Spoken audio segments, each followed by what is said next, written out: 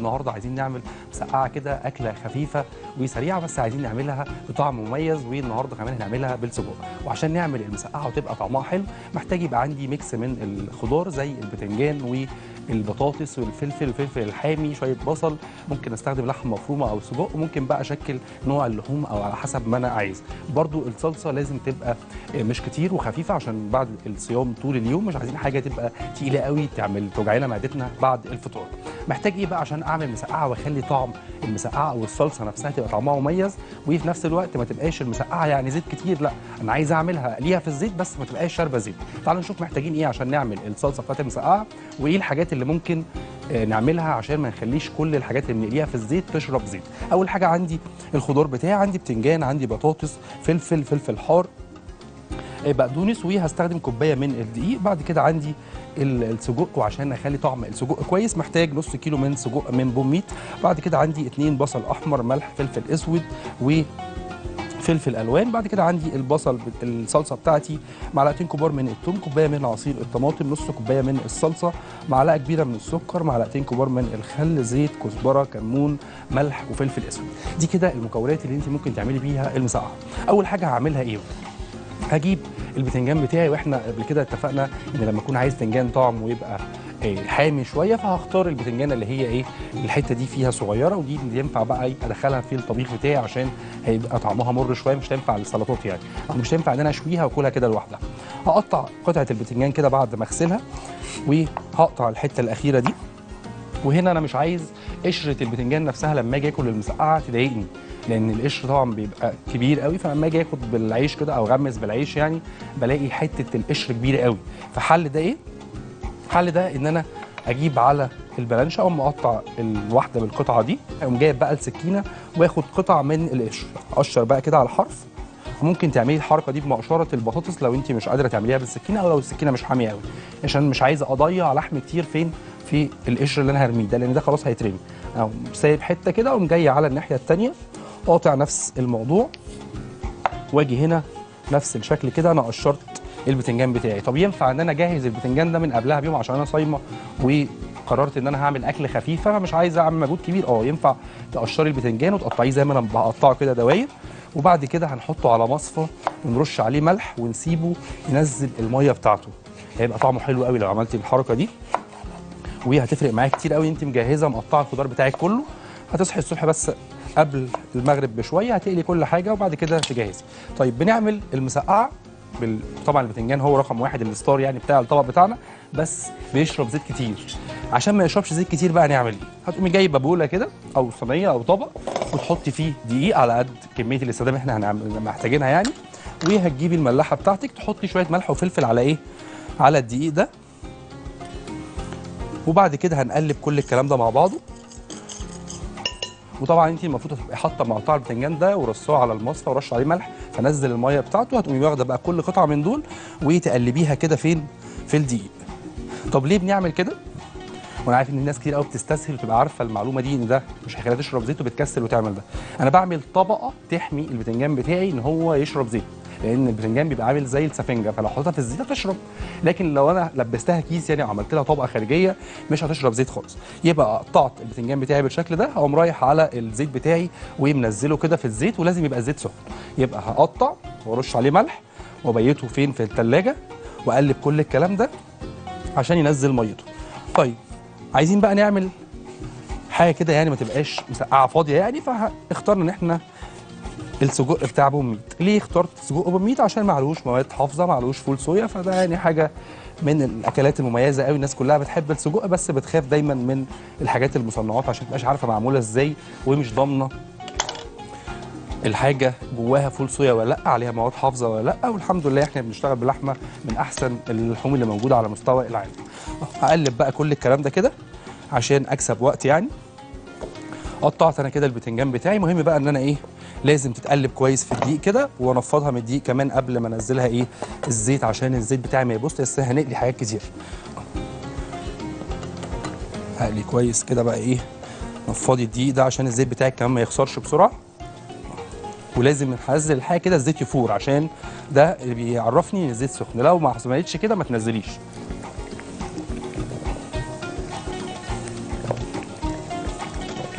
نزلت دول بقى يتقلوا هنروح على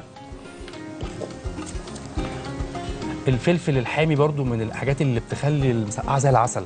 بس بيفرقع في الزيت وممكن يبقى في وقت الفطار بقى مش واخد بالي الاقيها مرة واحدة راحت فرقعت عملت لي مشكلة. الحل ده إن أنا أقوم جايب السكينة كده ومخرم الفلفل بتاعي عشان أما أنزله في الزيت ما يعمليش مشكلة. طب وأنا بقلي البتنجان ينفع أحط زيت؟ ينفع أحط فلفل على الزيت؟ آه ينفع تعملي ده. لو أنت بتحبي الأكل حراق هيبقى طعمه مميز قوي يبقى كل واحدة كده حاجة بحطها يعني في الزيت أو منزل معاها واحدة فلفل أو اتنين عشان تاخد من الشطة بتاعه الفلفل وده هيخليه الطعم مسكر وجميل. بعد كده أحط طاسة ثانية على النار وده ممكن أجهزها بقى كلها من قبلها بيوم.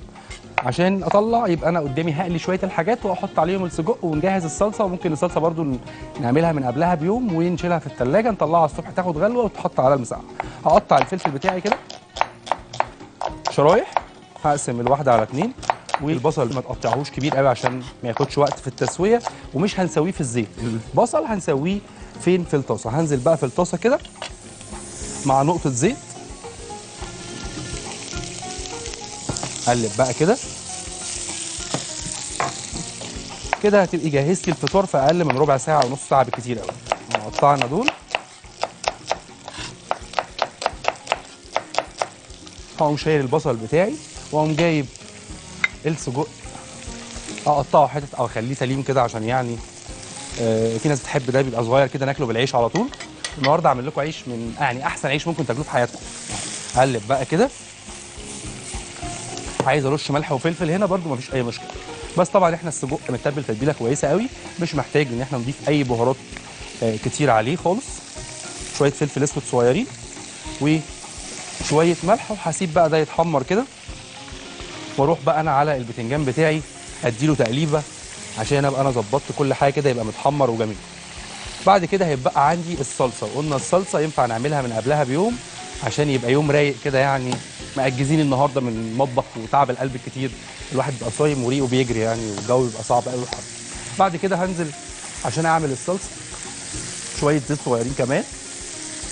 كده أسرع حاجة في الدنيا إن إحنا نعمل آه، كذا حاجة مع بعض. هنروح على الصلصة عندي توم. هنزل كده بالتومة. واقوم مديها تقليبه عشان ما تتحمرش من جنب وجنب لا. بعد كده عندي الصلصه البوريه والسكر عشان المزازة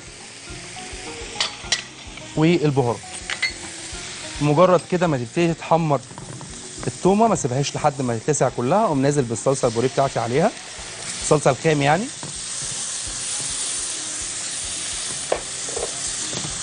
عايز الصلصة تبقى طعمها مزز عشان دي بقى أكلة رئيسية وإحنا مريحين. هنحط شوية سكر. وتشويحة الصلصة دي هتخلي لي صلصة حمراء ومش كتير. يعني هتخلي لونها حتى لو أنا الطماطم اللي عندي مش حمراء قوي إن أنا أشوح الصلصة كده بلاقي بص لون الطماطم بيبتدي يغمق أكتر وده هيساعدني كتير قوي. إن الصلصة بتاعتي تبقى مميزة يعني. هقلب بقى السجق وأنا شغال وأرجع بعد كده أجيب شوية كمون وكزبرة.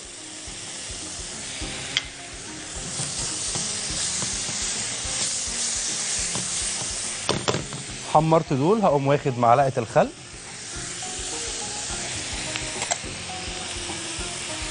وكوباية عصير الطماطم. ندي بقى تقليبة للصلصة ونسيبها شوية كده نص ساعة ولا حاجة على النار. بصوا بقى بمجرد ما حطيت الطماطم كان لونها فاتح تحميرة الصلصة اللي أنا حمرتها في الأول خلت الصلصة بتاعتي جاهزة. سيبنا كده البتنجان بتاعنا يتقلب بالشكل ده. هقوم مطلعه بقى مصفيه من الزيت كده. وبصوا بقى هنا واحدة البتنجان هتلاقيها طالعة مش شاربه زيت زي ما انت بتعمليه من غير دقيق. الدقيق بيفرق كتير قوي. وطبعا نحافظ على صحتنا بشويه الحاجات الصغيرة اللي بنقول عليها دي هتفرق معايا كتير قوي في الوصفة. بعد كده البطاطس بقى وإحنا قلنا البطاطس لازم تتقلي على مرتين. هقوم منزلها في الزيت ادي الزيت اهو. واقوم جايب الفلفل اقطع الفلفل ألوان شرايح كده.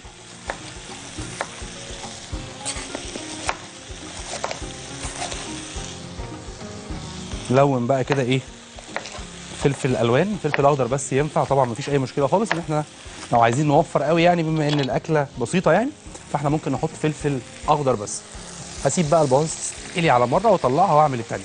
تعالوا نشوف بقى البتنجان فعلا شرب زيت ولا ما شربش والكلام اللي إحنا عملناه ده صح ولا لأ. هقوم جايب واحدة كده. بصوا بقى إيه المفروض إن أنا لما بطلع واحدة البتنجان دي من الزيت بعملها كده بس بتنزل كمية زيت مهولة. هي دي قطعة البتنجان بتاعتي. فيها زيت آه فيها بس ما فيهاش بالكمية اللي بعد كده بلاقي إن أنا أحط صينية المسقعة في الفرن شوية. بص ألاقي الزيت طالع من كل حتة فيها. هسيبها بقى شوية على المناديل كده تنزل شوية الزيت اللي فيها عشان تبقى أكتر حاجة صحية. حبيت المسقعة وعايز أكلها في الصيام آه ينفع نعمل كده ونغير من أكلاتنا لأن طبعا مش كل يوم هناكل لحمة وفراخ وسمك والكلام ده. بعد كده هجيب بقى البايركس حلو كده أو صينية كبيرة. وابقى حضرت كل الحاجة بتاعتي قالتها. هقوم مجهز بقى شوية بقدونس كده أو شوية كزبرة خضرة مقطعهم وبعد ما أخلص قلي كل حاجة هبتدي بقى أقفل المسقعة بتاعتي. أفرم بقى الخضرة كده. وكمان لو إحنا عايزين آه، نخزن بطاطس زي البطاطس الجاهزة هنعمل إيه بقى؟ إحنا بنقلي البطاطس على مرتين نقليها على مرة واحدة. وهنسيبها ثلاث أرباع سوا يعني هنسويها نص سوا بس وبعد كده اجيبها اطلعها على صاج تبرد خالص أحطها أسيبها تبرد وأحطها جوه أكياس ثلاجه وأقوم مغلفها وشايلها في الفريزر وبكده ممكن كمان أسهل إن أنا أطلع الحاجة على طول. قطعت دول وسويتهم اقوم رافعهم وحاطط غيرهم وأرجع بعد ما دول يبردوا أقوم مسويهم تاني وبكده أنا خلاص هبقى عملت كل حاجة للمسقعة بتاعتي. أرفع بقى دول كده وأنزل شوية من المتقطعين الجاهزين على ما أقطع أو أقطع شوية وأنزلهم وبعد كده نقفل مع بعض المسقعة. خلاص كده قلينا البتنجان البطاطس الفلفل والسجق. خلاص جاهز والصلصة بتاعتنا خلاص جاهزت أهي. هبتدي بقى أجيب البايركس بتاعي وأبتدي أرص البتنجان بتاعي كده في الصينية. كأول طبقة يعني.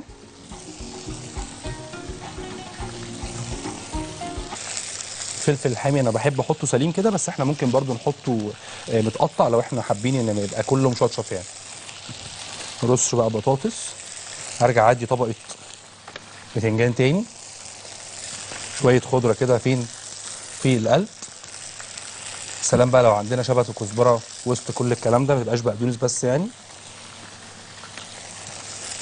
بعد كده هاخد السجق بعد ما اتحمر واقوم منزله بقى في كل الصينية بتاعتي.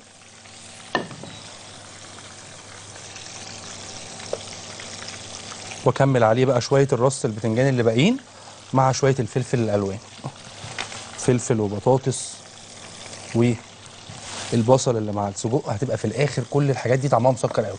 أفرد بقى كويس كده. وأدي شوية خضرة تاني. بعد كده هجيب الصلصة.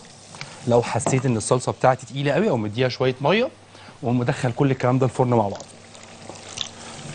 خليها خفيفة كده عشان توصل للصينيه بتاعتنا من جوه. وفي نفس الوقت المسقعة ما تنشفش مني خالص. قلبت أنا الصلصة كده هاخد بعد كده بقى كبشه وابتدي أدلق الصلصة بتاعتي على المسقعة. ينفع تتاكل كده على طول وينفع تخش الفرن شوية. يبقى إحنا ممكن نجهز الصينية دي كلها في وقت العصر وبعد كده نيجي وقت المغرب يكون الفرن بتاعنا سخن ندخل بقى الصينية كلها الفرن تتحمر شوية وبعد كده يبقى خلاص عندنا إيه المسقعة بتاعتنا جاهزة. ريحتها فظيعة. هفرد بقى الصلصة كده وأنا كده خلاص عملت المسقعة بتاعتي.